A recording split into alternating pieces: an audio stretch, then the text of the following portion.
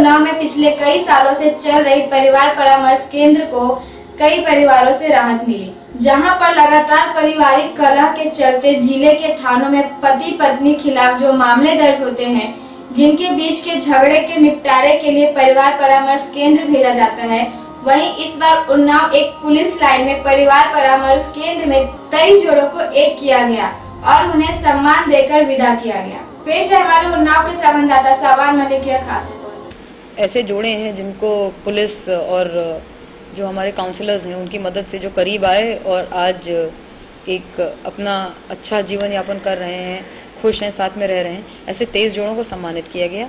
इसमें इनको कपड़े और मिठाई दे के इनके उज्जवल भविष्य की कामना की गई और जो अपना महिला सहायता प्रकोष्ठ का परिवार परामर्श केंद्र का स्टाफ है उसको सम्मानित किया गया और मौजूद काउंसलर्स को सम्मानित किया गया। हाँ ये सात साल से परिवार परामर्श हमारा पुलिस लाइन में ये चल रहा है। इसमें अनगिनत जोड़े मिलाए जा सके हैं और इसमें अधिकारियों का भी हम लोग को पूरा साथ मिलता है। और इसमें काफ़ी हम लोग को सफलता मिली है।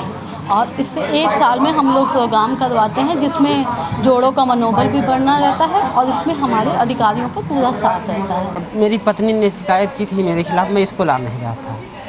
तब मुझको यहाँ बुलाया गया। तब मैं यहाँ आया और मुझे बड़े अधिकारियों ने समझाया, बुझाया। अब जाकर के हम दोनों पति पत्नी सुखी जीवन बिता रहे हैं।